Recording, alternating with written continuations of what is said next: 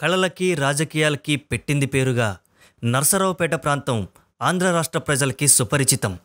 నర్సరావుపేట నియోజకవర్గ పరిధిలో కళ్ళకుంట అనే ఒక చిన్న గ్రామం నుండి ఆకాశ శిఖరాల వరకు ఎదిగిన ఒక తార ఒరిగింది. ఎవరెస్ట్ శిఖరం లాంటి అతని జీవితం కరిగి ఆవిరయింది అసలు కోడెల శివప్రసాద్ ఎవరు? ఏం చేసేవారు? రాజకీయాల్లోకి ఎలా వచ్చారు? తన రాజకీయ ప్రస్థానంలో ఎలా ఎదిగారు? ఏం సాధించారు? చివరకు ఆత్మహత్య ఎందుకు చేసుకున్నారు? తన గురించి పూర్తి వివరాలు ఈ వీడియోలో చూద్దాం. ముందుగా మా సోషల్ పోస్ట్ ఛానల్ని సబ్స్క్రైబ్ చేసుకోండి. పక్కనే ఉన్న బెల్ ఐకాన్ని ప్రెస్ చేయండి. కోడెల శివప్రసాద్. తెలుగుదేశం పార్టీ సీనియర్ నేత మరియు ఆంధ్రప్రదేశ్ విభజన తర్వాత ఎన్నుకోబడిన తొలి శాసనసభాపతి. పంతొమ్మిది వందల ఎనభై మూడులో వైద్య వృత్తి నుంచి తెలుగుదేశం పార్టీలో చేరిన కోడెల పంతొమ్మిది వందల ఎనభై మూడు నుండి రెండు వేల నాలుగు వరకు వరుసగా ఐదు సార్లు నర్సరావుపేట నుంచి గెలిచాడు.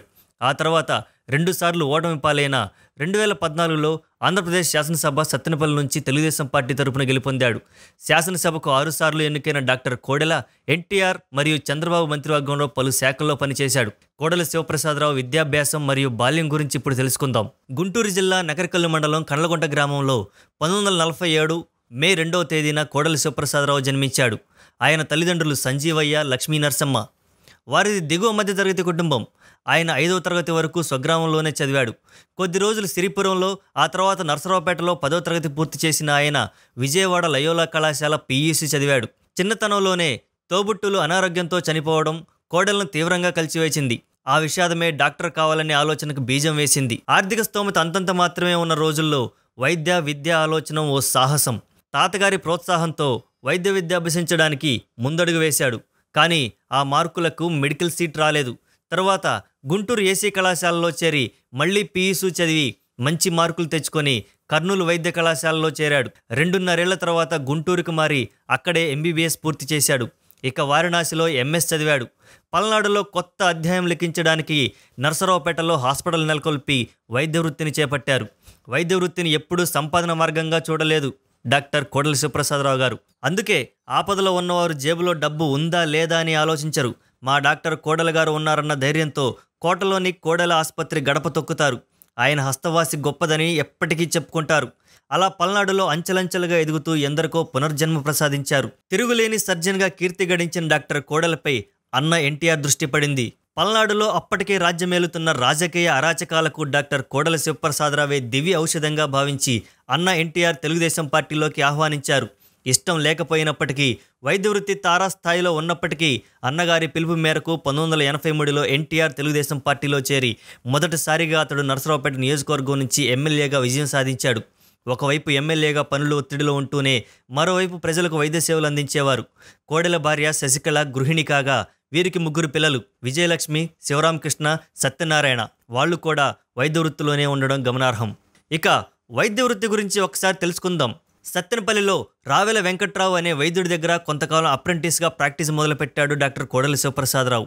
అతని దగ్గరకు గ్రామీణులే అధికంగా వచ్చేవారు. గ్రామీణ ప్రాంతాల్లో పెరిగిన కోడల శివప్రసాదరావు తను చదివిన వైద్య విద్యతో గ్రామీణులకు మెరుగైన వైద్యం అందించాలనే లక్ష్యంతో తన సొంత ఆసుపత్రిని గుంటూరు జిల్లా నర్సరావుపేటలో స్థాపించాడు. వాళ్ళ అభిమానంతో పల్నాడు ప్రాంతంలో మంచి డాక్టర్గా పేరు తెచ్చుకున్నాడు. అనతి కాలంలోనే ఆసుపత్రికి వచ్చిన రోగుల పట్ల ప్రేమ ఆప్యాయతలు చూపటమే కాకుండా ఉత్తమ ఔషధాలు అందిస్తూ నమ్మకమైన సేవలు అందిస్తూ మంచి సర్జన్గా పేరుగా ఉంచి మనసున్న మహారాజుగా మన్ననలు పొంది వృత్తి ధర్మానికి న్యాయం చేస్తూ డాక్టర్ కోడల సుప్రసాద్గా గుర్తింపు పొందారు. ఇక డాక్టర్ కోడల శివప్రసాదరావు రాజకీయ జీవితం గురించి ఇప్పుడు తెలుసుకుందాం. తెలుగుదేశం పార్టీ వ్యవస్థాపకుడైన నందమూరి తారక రామారావు అప్పట్లో గుంటూరు జిల్లా పర్యటనకు వచ్చినప్పుడు డాక్టర్ కోడెల ఆయన దృష్టిలో పడ్డాడు. అతను పోటీ చేయడానికి ఇష్టపడకపోయినప్పటికీ నందమూరి తారక రామారావు పంతొమ్మిది వందల ఎనభై మూడులో ఎన్నికలలో పోటీ చేయడానికి ప్రేరేపించారు. డాక్టర్ కోడెల అప్పటి ఎన్నికల్లో నర్సరావుపేట నియోజకవర్గం నుంచి తెలుగుదేశం అభ్యర్థిగా పోటీ చేసి ఘన విజయం సాధించారు. ఆ తర్వాత పంతొమ్మిది వందల ఎనభై ఐదు పంతొమ్మిది వందల ఎనభై తొమ్మిది పంతొమ్మిది వందల తొంభై నాలుగు పంతొమ్మిది వందల తొంభై తొమ్మిది ఎన్నికల్లో నరసరావుపేట నుంచి వరుస విజయాలు నమోదు చేశారు డాక్టర్ కోడల శివప్రసాదరావు.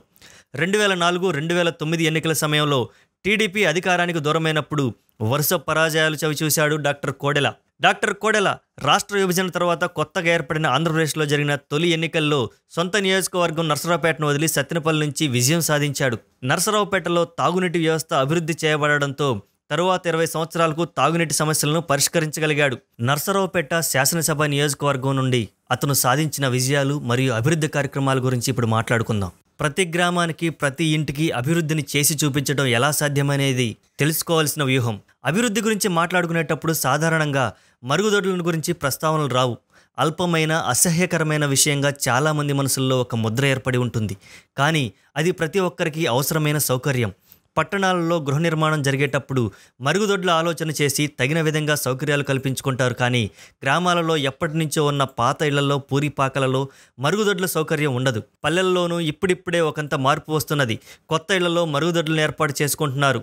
ఈ మార్పు చాలదు చాలా ఇళ్ళకు. ముఖ్యంగా పేదల పూరిళ్ళకు నేటికి అది అందుబాటులో లేని సౌకర్యమే. కాలకృత్యాల కోసం గ్రామాల్లో చెరువు కట్టకో రహదారులకు పక్కకో మరో బాహ్య ప్రదేశానికో పోవటం సర్వసాధారణం. ముఖ్యంగా ఆడవాళ్ళు ఎన్నో అవస్థలు పడుతుంటారు.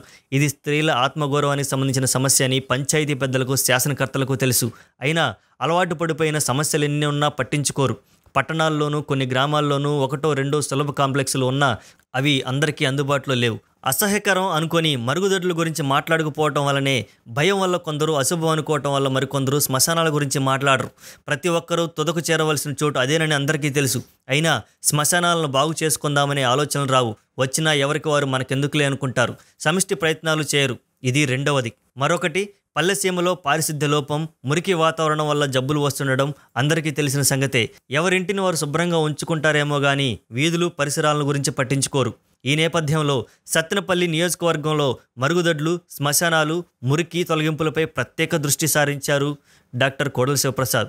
మిగతా అభివృద్ధి పనులను కొనసాగిస్తూనే ఇంటింటికి మరుగుదొడ్డి నిర్మాణం శ్మశానాల ఆధునికీకరణ ఊరిని పరిశుభ్రంగా ఉంచుకోవడం అనే మూడింటిని ఉద్యమ స్థాయిలో చేపట్టారు. ఉద్యమ రూపకర్త స్థానిక శాసనసభ్యుడైన స్పీకర్ డాక్టర్ కోడల శివప్రసాదరావు ఈ కార్యక్రమాలను ప్రారంభించే ముందు పెద్ద బహిరంగ సభ జరిపి ప్రజలను చైతన్యపరిచారు.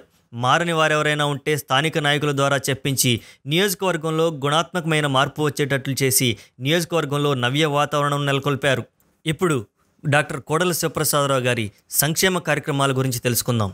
గుంటూరు జిల్లా టీడీపీ రాజకీయాల్లో కీలక నేతగా ఎదిగిన కోడెల పంతొమ్మిది వందల ఎనభై ఏడులో ఎన్టీఆర్ క్యాబినెట్లో హోంమంత్రిత్వ శాఖను ఆఫర్ చేశాడు.